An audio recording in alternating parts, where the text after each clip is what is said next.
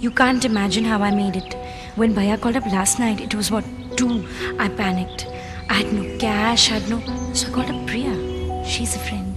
She said, Just meet me at the airport. Oh, she's terrific.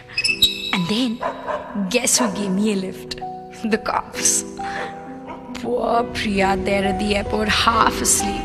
She pulled out a card, got me a ticket, got me on the first flight. Just like that. You know, I used keep teasing her about that card lagaving style and all that. But if it wasn't for her and that little car.